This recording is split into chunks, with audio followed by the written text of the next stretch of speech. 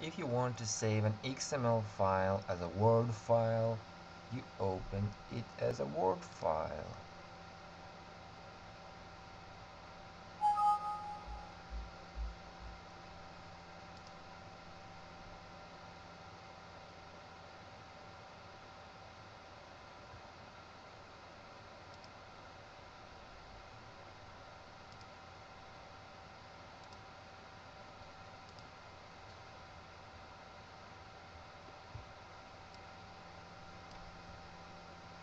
File save as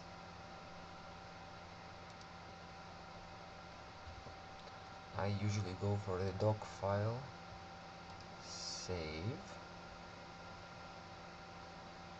and that's it. And you change the way of looking at it. Here and got um, beautiful file. Can make it.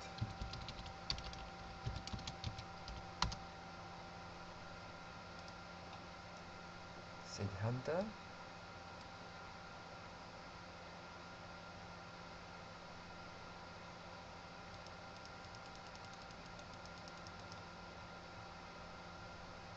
I'm not sure if this should be here but it's another question. So that's about it